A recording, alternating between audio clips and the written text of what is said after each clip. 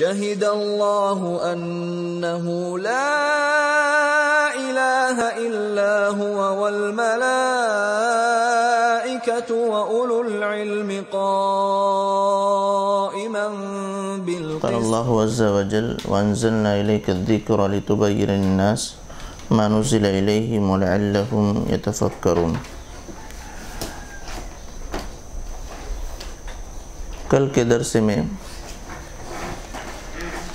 تفسیر بالماثور کی تعریف اور اس کی اہمیت ہم نے پڑھا پڑھایا تھا۔ آج کے درس میں انشاءاللہ چند مثالیں تفسیر بالماثور کی۔ یوں تو بہت سارے مفسرین نے تفسیر بالماثور کرنے کی کوشش کی ہے۔ اور ہر دور اور ہر زمانے میں قرآن کریم کی تفسیر اس اعتبار سے کرنے کی کوشش کی گئی۔ لیکن چند ایسے مفسرین ہیں جو اس معاملے میں مشہور ہوئے۔ ان کی کتابیں آج بھی موجود ہیں اور بطور مثال ان کو پیش بھی کیا جاتا ہے لوگ استفادہ کرتے ہیں۔ صرف دو چار مفسرین کے نام کس دور کے وہ ہیں اور انہوں نے کون سی کتاب تفسیر بالماثور کے طور پر لکھی؟ سب سے پہلا نام جو آتا ہے، یہ ترتیب کے اعتبار سے زمانے کی ترتیب کس دور کی یہ ہیں؟ پہلا نام ابو جعفر محمد بن جریر، بن یزید، بن کثیر الطبری، رحمہ اللہ۔ ابو جعفر محمد بن جریر، بن یزید، بن کثیر الطبری۔ ان کا انتقال ہوا ہے تین سو دس ہجری میں۔ تین سو دس ہجری میں۔ گویا کہ یہ چوتھے صدی ہجری کے عالم ہیں۔ امام طبی رحمہ اللہ، یہ چوتھے صدی ہجری کے عالم دین ہیں۔ ان کا نام ابو جعفر محمد بن جریر بن یزید بن کثیر، اور تبری ان کا پورا نام۔ اور ایک چیز یوں ہی اگر تذکرہ کر لیا جائے تو کوئی حرج نہیں۔ لفظ یزید آج اتنا معیوب ہے لوگوں نے اس طریقے سے پروپنڈا کیا کہ لوگ یزید نام رکھنا چھوڑیے۔ یزید اپنے لفظ پہ ادا کرتے ہوئے بھی ڈرتے ہیں۔ کہ کہیں گستاخ آل بیت نہ قرار دے دیے جائیں۔ یہ چوتھی صدی ہجری کی بات چل رہی ہے۔ اور یزید ان کا نام میں آ رہا ہے۔ ان کے دادا کا نام غالباً محمد بن جریر بن یزید۔ دادا کا نام ہے۔ زیادہ سے زیادہ دوسری صدی ہجری مان تیسری صدی ہجری مان لیتے ہیں۔ تو نام تو رکھا جاتا رہا، لیکن یہاں اتنا معیوب اس کو بنا دیا گیا کہ لوگ نام رکھنا تو دور کے بعد نام لینا بھی نہیں چاہتے۔ بڑے عالم دین اور کثیر کتابوں کے مصنف ہیں۔ امام طبی رحمہ اللہ بڑے عالم دین ہیں۔ احد العالم و صاحب التصانیف۔ عالم عالم کی جمع۔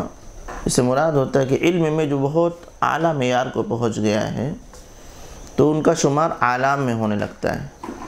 تو ایسے ہی علماء میں سے ایک یہ ہیں کہ جو علم کے اعلیٰ درجے تک پہنچنے والے وصاحب التصانیف، بہت سارے کتابوں کے مصنف ہیں۔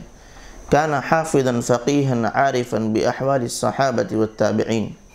یہ حافظ تھے فقی تھے۔ عارفا باحوال الصحابت والتابعین۔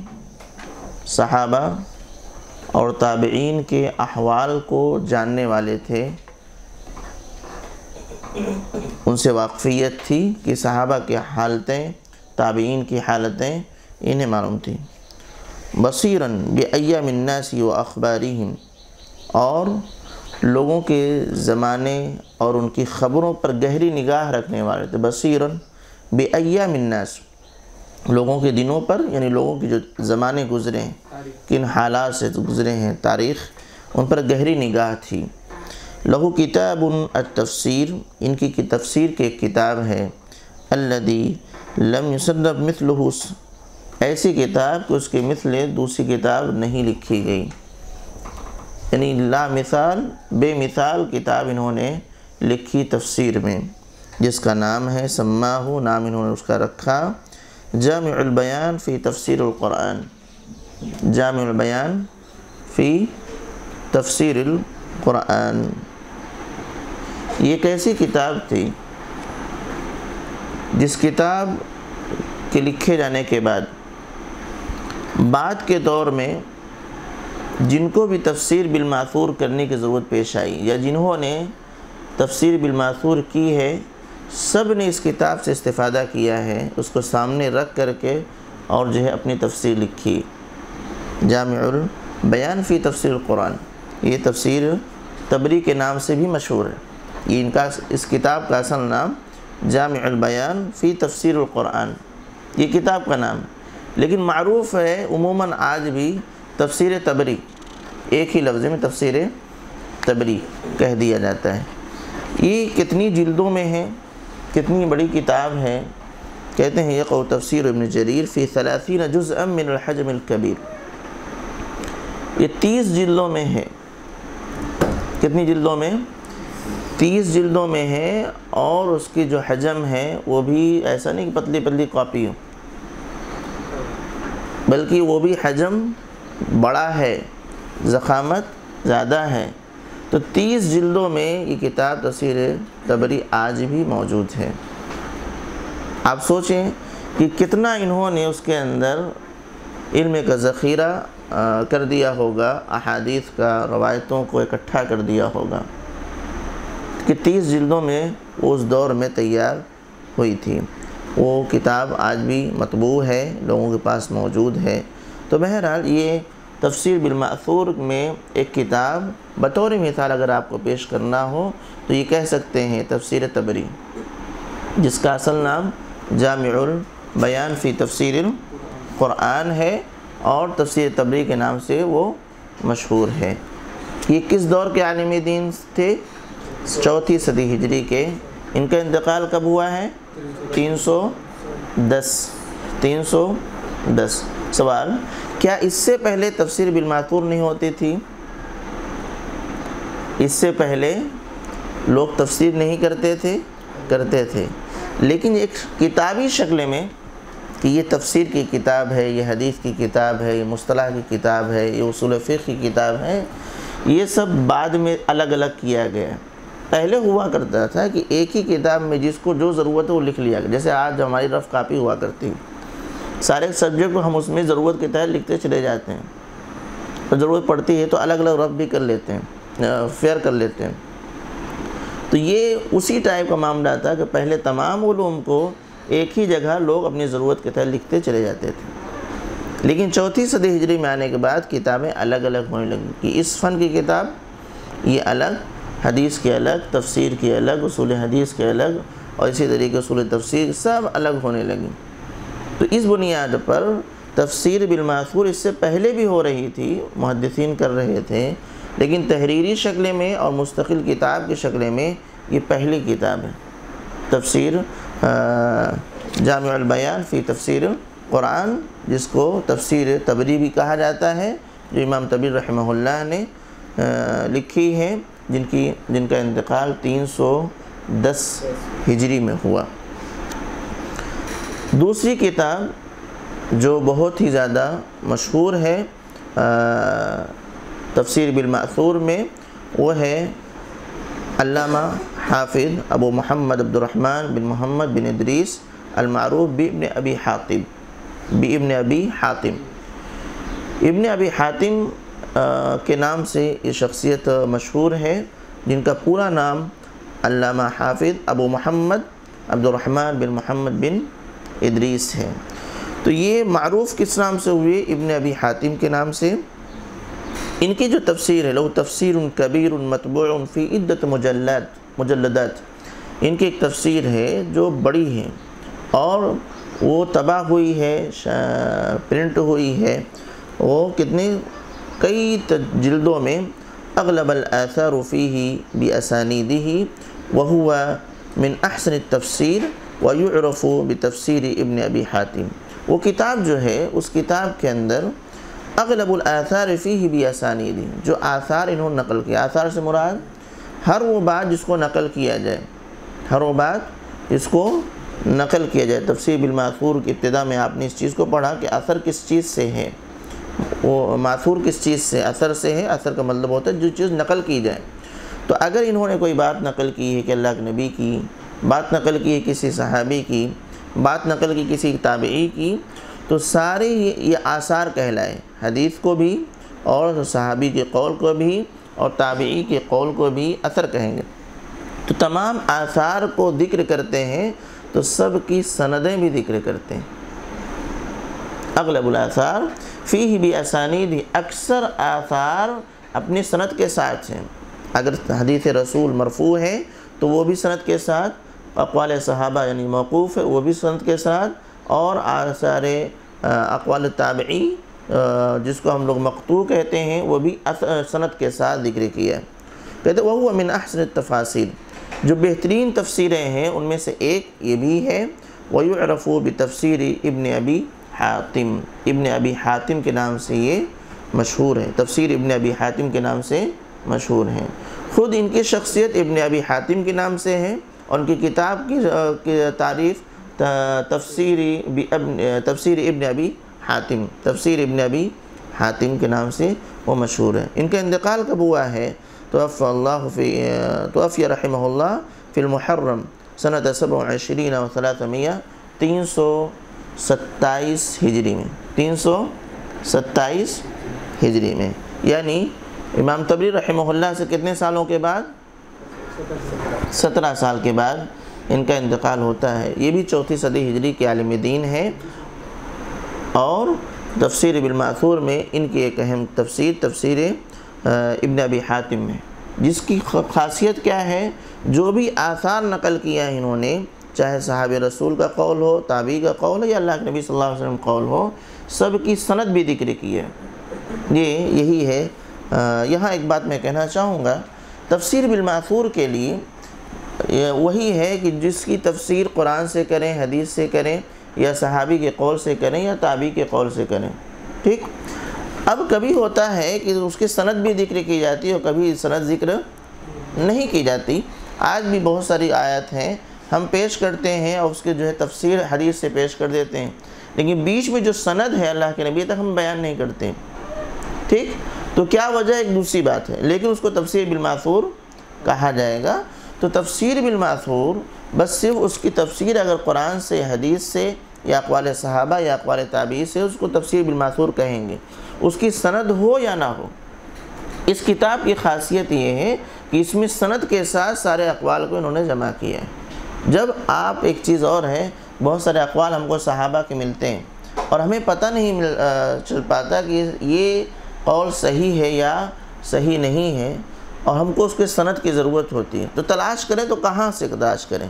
کس کتاب میں جائیں کہ وہ اس قول کی سند مل جائے کہ عبداللہ بن عباس رضی اللہ تعالیٰ عنہ نے یہ بات کہی۔ ان سے کس نے سنا، پھر کس نے سنا، پھر کس نے سنا، یہ کہاں ملے گی؟ تو اس کا ایک آسان طریقہ ہے کہ آپ تفسیر ابن ابی حاتم، اگر تفسیر کا موضوع ہے وہ، تو تفسیر ابن ابی حاتم اٹھائیں۔ اور اس میں تلاش کریں اس آیت کے ضمن میں، جس آیت کے ضمن وہ قول تھا، انشاءاللہ وہ ملے گا، جب ملے گا تو پھر اس کی سند بھی مل جائے گی، کیونکہ اس کتاب کی ایک خاصیت ہے کہ اس کے اندر مؤلف نے اثر کو اس کی سند کے ساتھ ذکر کیا ہے۔ تیسری تفسیر ہے تفسیر بن معصور کی، بطور مثال، جو سب سے زیادہ متداول ہے، لوگوں کے پاس ہے اور بہت شہرت رکھتی ہے۔ اور سب سے زیادہ لوگ اس سے استفادہ کرتے ہیں، الحمدللہ۔ وہ ہے تفسیر ابن کثیر۔ تفسیر ابن کثیر۔ آئیے دیکھتے ہیں کہ اس تفسیر کو لکھنے والے جو ان کا نام کیا ہے۔ عماد الدین ابوالفدا اسماعیل بن عمر بن کثیر بن ضو بن کثیر بن ذرا یہ ان کا پورا نام، سلسلہ نصب ہے۔ ان کی کنیت ہے اور ان کا نام ہے۔ ان کا انتقال کب ہوا ہے؟ سات سو چوہتر ہجری میں، سات سو چوہتر ہجری میں۔ سات سو چوہتر ہجری میں یعنی آٹھویں صدی ہجری کے عالم، آٹھویں صدی ہجری کے عالم۔ اس بیچ میں چوتھی میں دو مثالیں آئیں گی اس کے بعد اور میں پانچویں میں چھٹی میں بھی، ساتویں میں بھی بہت سارے لوگوں نے تفسیر بالماثور کیا ہے۔ لیکن یہاں سے مقصود کیا ہے کہ مشہور مشہور کتابیں ذکر کر دی جائیں کہ ہم سمجھ سکیں یہ تفسیر بالماثور ہے۔ کہ ہمیں تفسیر بالماثور پڑھنا ہو تو ہم کہاں سے پڑھ سکتے ہیں؟ تو اس کے لیے یہ اس بطور مثال ذکر کی جا رہی ورنہ تعریف جو کی گئی ہے، اس تعریف کے اعتبار سے کوئی بھی تفسیر اگر آپ اٹھا کے دیکھیں، اور اس میں آپ دیکھیں کہ آیت کریمہ کی تفسیر قرآن سے ہے، یا حدیث سے ہے، یا اقوال صحابہ سے ہے، یا اقوال تابعی سے ہے تو آپ اس کو مان لیں کہ یہ تفسیر بالمعثور ہے۔ لیکن بطور مثال یہاں پر صرف چار کا تذکرہ کیا جا رہا ہے۔ امام ابن کثیر رحمہ اللہ کا جو مقام و مرتبہ ہے، تاریخ کے اعتبار سے، تفسیر کے اعتبار سے، اور ایسے ہی دوسرے تمام علوم اسلامیہ کے اعتبار سے وہ بے مثال۔ اتنی عظیم الشان شخصیت ہے کہ اللہ رب العالمین نے آٹھویں صدی ہجری کے اندر ان کو اس کام کے لیے منتخب فرمایا یہ مورخ بھی ہیں اور اسے مفسر بھی ہیں اور اکثر اہم فنون میں ان کی کتابیں موجود ہیں۔ كان اماما مفسرا مؤرخا بارعا امعن النظر في الرجال والعلل۔ ان کا معاملہ امام ہے۔ مفسرا مفسر ہیں، مؤرخا مؤرخ ہیں، بارعا ماہر ہیں۔ امعن النظر في الرجال والعلل۔ رجال اور علتوں پر گہری نگاہ رکھنے والے ہیں۔ امن النظر ہوتا ہے کہ گہری نگاہ رکھنے والا۔ کس میں؟ رجال میں۔ ہم سند کے بہت سارے رجال ہوتے ہیں۔ راوی جس کو کہتے ہیں، ان پر ان کی گہری نگاہ ہے کہ وہ کیسے ہیں، کیا ہیں، کہاں ولا یعنی ان تمام کے بارے میں ان کو جانکاری ہے۔ دوسری، علل، کہ کس کی، کس سے ملاقات ہے یا نہیں ہے۔ حدیث میں کبھی کبھی ایسا ہوتا ہے کہ آپ نے دیکھا کہ جو راوی جس سے روایت کر رہے ہیں اپنے استاد سے، اس استاد سے انہوں نے پڑھ تو رکھا ہے، علم حاصل کیا ہے۔ لیکن جس روایت کو اس وقت ان سے روایت کر رہے ہیں، اس روایت کو انہوں نے ان سے نہیں حاصل کیا ہے۔ اگر ہم یہ دیکھتے ہیں، ہم اگر کوئی حدیث کو، کی صنعت کو جب چیک کرتا ہے، تو وہ یہی دیکھتا ہے عموماً سب سے پہلی چیز یہ ہوتی ہے کہ اس راوی کا، اس راوی سے ملاقات ہے یا نہیں۔ امکان لقاء ہے یا نہیں؟ ملاقات کا امکان ہے کہ نہیں؟ کیونکہ ان سے بیان کر رہے ہیں نا، جب ملاقات ہوگی تبھی، یا کم از کم یہ امکان ہو کہ ہاں اسی شہر میں رہنے والے، اسی دور کے رہنے والے ہیں، اس لیے ملاقات ہوئی ہوگی اور وہ بیان کریں کہ اسے قرامی ہیں۔ تو یہ ہم کو دکھ جاتا ہے کہ یہ شاگرد ہیں، یہ استاذ ہیں۔ لیکن اس میں سارے لوگ جو عام جن کے پاس علم کم ہوتا ہے، ہم جیسے لوگ یا اور، تو ان کا کیا معاملہ ہے؟ وہ سمجھتے ہیں کہ اس استاذ سے جتنی باتیں بھی روایت کر رہے ہیں، سب کے سب انہوں نے اسی سے حاصل کیا، اس لیے روایت کر رہے ہیں۔ لیکن ہوتا کیا ہے کہ کبھی کبھی ایک شاگرد اپنے استاد سے ایک سبجیکٹ پڑھ رکھا ہے، یا ایک سبجیکٹ کے کچھ حصے پڑھ رکھے ہیں۔ اب وہ روایت کرتا ہے تو اسی سبجیکٹ کے دوسرے حصے بھی روایت کرتے مثلا آپ نے کسی استاد سے بخاری پڑھ لی، اربعون پڑھ لی ہے چار چالیس بیالیس حدیثیں مجھ سے پڑھ لی۔ اب آپ کو مجھ سے اگر روایت کرنے کا اختیار ہوگا، تو صرف یہی نا؟ اکتالیس بیالیس کے بعد تینتالیس یا چوالیسویں حدیث میں نے نہیں بیان کیا آپ سے۔ اب آپ کی حالات زندگی میں دیکھا جائے گا کہ آپ کو میں، مجھے استاد بتایا گیا ہے۔ تو عام طور پر لوگ پڑھنے والے سمجھیں گے کہ چونکہ یہ ان کے شاگرد ہیں اور حدیث کی کتاب پڑھائے بھی ہیں، لہذا وہ روایت بھی ان سے پڑھی ہوگی۔ لیکن جو علل کے ماہرین ہوتے ہیں، جو علل جانتے رہتے ہیں، وہ سمجھ جاتے ہیں کہ انہوں نے صرف بیالیس حدیثیں پڑھی ہیں، تینتالیسویں حدیث نہیں پڑھی۔ اس بیالیس کے علاوہ تینتالیسویں حدیث جب ان سے روایت کریں، تو یہ مانا جائے گا کہ یہ صحیح نہیں ہے۔ علل جو بہت ہی زیادہ مہارت رکھتے ہیں، گہرائی، گہرا مطالعہ ہوتا ہے، وہی پکڑ پاتے ہیں۔ تو امام ابن کثیر رحمہ اللہ کی یہ بھی ایک خصوصیت تھی کہ علل پر گہری نگاہ تھی۔ ان کی بہت ساری کتاب لو تصانیف کثیر مفیدہ ان کی بہت ساری کتابیں مفید ہیں۔ کہ تفسیر مشہور الذي سما ہو جیسے کہ ان کی مشہور تفسیر جس کا انہوں نے نام رکھا ہے، تفسیر القرآن العظیم۔ مشہور کس سے تفسیر ابن کثیر، نام کیا ہے اصل؟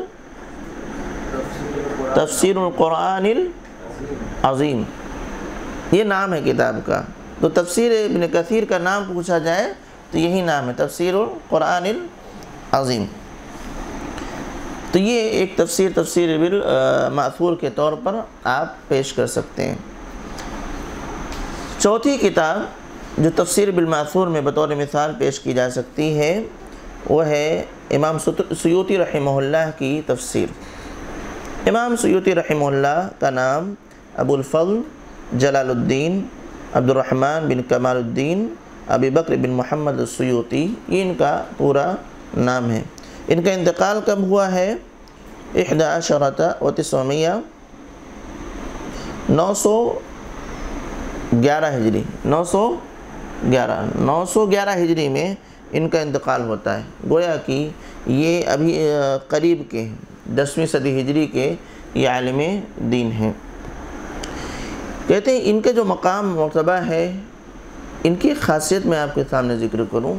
کوئی بھی فن آپ اٹھا کے حدیث کے دیکھیں علوم اسلامیہ کے دیکھیں، تفسیر ہے اور اسی طریقے سے حدیث ہے، اصول حدیث ہے، اصول تفسیر ہے، تاریخ ہے۔ اور اصول حدیث میں بھی الگ الگ چیزیں، ناسخ و منسوخ ہے اور جو ہے انصاب ہے۔ جتنے بھی آپ دیکھیں، عموماً سب میں ان کی ایک کتاب رہتی ہے۔ اتنا انہوں نے لکھ ڈالا ہے کہ تقریباً ہر فن میں ان کی ایک کتاب موجود ہے۔ بہت لکھا ہے انہوں نے۔ آتا ہوں ان کی جانب۔ تو الحافظ صاحب المؤلفات الفائقہ، التي جاوزت خمس و یہ ایسی شخصیت ہے کہ جو صاحب المؤلفات یعنی بہت ساری کتابوں کے مؤلف ہیں، ان کی کتابوں کی، ان کی تعلیفات کی تعداد وہ پانچ سو سے تجاوز کر جاتی پانچ سو سے زائد انہوں نے کتابیں لکھی جیسا کہ میں نے کہا کہ آپ پڑھیے، کوئی بھی فن پڑھیے۔ اصول حدیث میں ابھی آپ لوگ شاید تیسر المستر الحدیث پڑھ رہے ہیں۔ ہاں؟ اس میں ایک چیز بہت اہم ہے کہ کوئی بھی چیپٹر پڑھاتے ہیں، اس چیپٹر کی آخر میں ایک چیز ذکر کرتے ہیں کہ اس چیپٹر سے متعلق، مثلا ناسخ و منسوخ آ گیا۔ تو ناسخ و منسوخ سے متعلق مشہور کتابیں کون سی ہیں؟ ایسے ہی حسن سے متعلق مشہور کتابیں کون سی ہیں؟ ایسے ہی، علل سے متعلق مشہور کتابیں کون سی ہیں؟ تو سب میں آخر میں اشر المصنفات فی کر کے لکھتے ہیں کہ اس چیپٹر میں مشہور کتابیں کون سی ہیں؟ وہ دو چار ذکر کرتے ہیں۔ عموماً ایک کتاب امام صلی اللہ کی ہوتی ہے عموماً سب میں نہیں۔ عموماً ایک کتاب امام سید رحمۃ رحمہ اللہ کی اس میں ہوتی تو بہرحال پانچ سو سے زائد کتابیں انہوں نے لکھی لہو کتاب ان فی تفسیری سما ہو ان کی ایک کتاب تفسیر کی ہے، جس کو انہوں نے نام رکھا ہے الدر المنصور فی التفسیر بالمعثور نام ہی دیکھیے، تفسیر بالمعثور کا نام بھی انہوں نے ذکر کر دیا۔ الدر المنصور فی التفسیر بالمعثوری یہ کتاب مشہور کس سے ہے؟ تفسیر سیوتی کے نام سے۔ لیکن اس کا پورا نام الدر المنصور فی فی التفسیر بالمعثور یہ ان کی کتاب کا تفسیر کا نام ہے۔ وهو مختصر من كتابه ترجمان القرآن الذي عرف به في كتابه الاتقان یہ تفسیر بالمعثور جن کی ہے، الدر المنصور فی التفسیر بالمعثور جو تفسیر کتاب ہے، انہوں نے اس کتاب کا کو مختصر بھی کیا ہے ان شارٹ کیا ہے، مختصر بیان کیا ہے، اور وہ آپ کو مل جائے گی ان کی کتاب ترجمان القرآن، جو کہ اتقان کے نام سے مشہور ہے۔ کس کے نام سے مشہور ہے؟ الاتقان۔ ان کی کتاب، تفسیر کی اصل کتاب کا کیا نام ہے؟ الدر المنصور فی التفسیر بالماثور۔ یہ کتاب کا نام ہے۔ اس کو اختصار کیا ہے، مختصر کیا ہے، ان شارٹ کیا ہے۔ اس کتاب کا نام رکھا ہے انہوں نے ترجمہ القرآن۔ یعنی الدر المنصور فی التفسیر بالماثور کو مختصر کر کے انہوں نے ترجمہ القرآن میں بیان کیا۔ یہ ترجمہ القرآن مشہور ہے کس نام سے؟ الاتقان۔ سمجھ گئے؟ الاتقان یہ ترجمہ القرآن کا ایک نام ہے جو جس سے یہ مشہور ہوا ہے۔ اور ترجمان القرآن کیا ہے؟ امام سیوتی رحمہ اللہ کی تفسیر کی کتاب الدر المنثور فی التفسیر بالمأثور کا خلاصہ ہے۔ وسیوتی حاتب حاتب لیل سیوتی کو کہا جاتا ہے حاتب اللیل۔ حاتب اللیل کون ہوتا ہے؟ رات میں لکڑیاں چننے والا۔ رات میں لکڑیاں چننے والا۔ رات میں اگر کوئی لکڑی چنتا ہے، تو کیا تاریکی میں اس کو سمجھ میں آئے گا کہ یہ لکڑی میرے کام کی ہو یہ میرے کام کی نہیں ہے؟ وہ کیا کرتا ہے؟ جو ملتا ہے سب چن لیتا ہے، اکٹھا کر لیتا ہے، لا کے گھر پہ اس کو رکھ کر کے پھر اس کے بعد جو اس کے کام کی ہے وہ الگ، جو کام کے نہیں وہ الگ کرتا ہے۔ یہی ہے نا؟ تو حاتب اللیل ان کو بھی کہا گیا ہے۔ ان کا کام کیا تھا کہ جو بھی اس فن میں ملے اکٹھا کر دیجیے وہ بعد کے لوگ آئیں گے اپنا چھاٹیں گے کون صحیح ہے، کون غلط ہے۔ تو یہ وسیعت حاتب العین کما ہوا معروف۔ ولدا لم يتحر یتحر الصحہ فی کتاب ہی الدر المنثور اسی بنیاد پر انہوں نے اپنی کتاب الدر المنثور یعنی جو تفسیر کی کتاب ہے، اس میں صحت تک پہنچنے کی کوشش نہیں کی۔ جی کون روایت صحیح ہے، کون روایت صحیح نہیں ہے، اس تک پہنچنے کی کوشش نہیں کی۔ جو بھی ملا ہے، اس کو انہوں نے لکھ دیا۔ حاتب اللیل کی طرف، کی کی طرح سے کہ جو بھی لکڑی ملی، انہوں نے اکٹھا کر لیا۔ بعد کے لوگ اپنا دیکھ لیں گے۔ گھر میں لا کے رکھ دیں گے، عورتوں کو کھانا بنانا ہوگا، تو جو کام کی لکڑی ہوگی استعمال کر لیں، باقی چھوڑ دیں گی۔ اسی اعتبار سے ان کو جو بھی اس فن میں ملا، انہوں نے سب اکٹھا کر دیا۔ صحیح غلط بعد والوں کے لوگ بعد والوں کے لیے ہیں کہ وہ الگ کریں گے، یہ صحیح ہے، یہ غلط ہے۔ تاکہ کوئی چیز ضائع نہ ہونے پائے اور پھر بعد کے لوگ جب تحقیق کریں گے، تو جو دوسرے، غیر ضروری چیزیں تھیں، وہ نکال دیں گے۔ اس لیے انہوں نے اپنی کتاب کے اندر صحت کا اہتمام نہیں کیا ہے۔ ففی آثار غیر مقبولت و واحیت و مردودہ۔ اسی بنیاد پر ان کی کتاب الدر المنصور کے اندر جو ہے بہت سارے ایسے آثار ہیں جو غیر مقبول ہیں، واحیات ہیں، مردود ہیں، قابل قبول نہیں ہیں۔ ان کی یہ کتاب مطبوع فی ستت مجلدات، یہ سات جلدوں میں چھ جلدوں میں یہ کتاب مطبوع ہے، چھپ چکی ہے اور آج بھی لوگوں کے ہاں پائی جاتی ہے۔ بہرحال یہ تفسیر بالمعثور کی چند مثالیں آپ کے سامنے آئیں اور تفسیر امام سیوتی رحمہ اللہ کی جو تفسیر ہے، اس کے حوالے سے ایک بات ہمیشہ یاد رکھیے کہ اس کتاب کے اندر ہر طرح کی روایتیں ہیں۔ کیونکہ مؤلف نے، مفسر نے اس بات کا اہتمام وہاں نہیں کیا کہ اس میں صرف صحیح روایتیں آئیں۔ بس انہوں نے اہتمام یہ کیا کہ جو بھی ملے جمع کر دیں، لہذا اس سے جب استفادہ کریں تو تھوڑا سا ہمیں محتاط رہنا پڑے گا کہ اس میں کوئی غلط باتیں نہ آنے پائیں۔ یہاں پر میں تھوڑا سا بیان کرنا چاہوں گا۔ تفسیر ابن کثیر کے حوالے سے کہ انہوں امام ابن کثیر رحمہ اللہ نے اپنی تفسیر کے اندر کیا منہج اپنایا ہے؟ اور اس سے یہ ہم کو اندازہ لگے گا کہ دیکھیے، تفسیر بالمعثور اس طریقے سے کی جاتی ہے۔ مؤلفین نے ایسا کیا ہے۔ تو اس کا جو منہج ہے امام ابن کثیر رحمہ اللہ کا اپنی کتاب تفسیر کے اندر، تو سب سے پہلے انہوں نے کیا کیا؟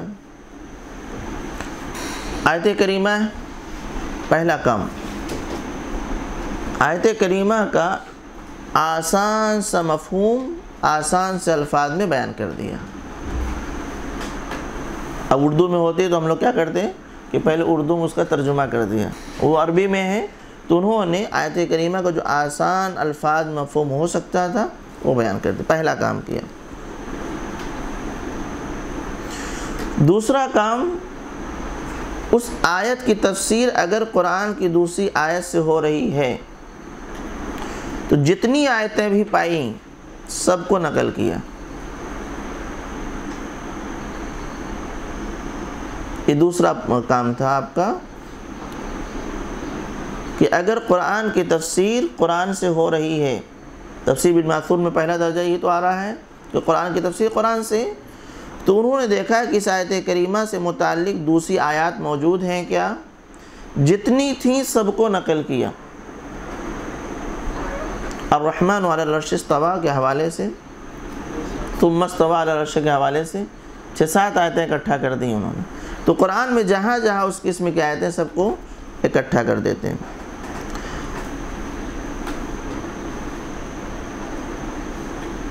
اس کے بعد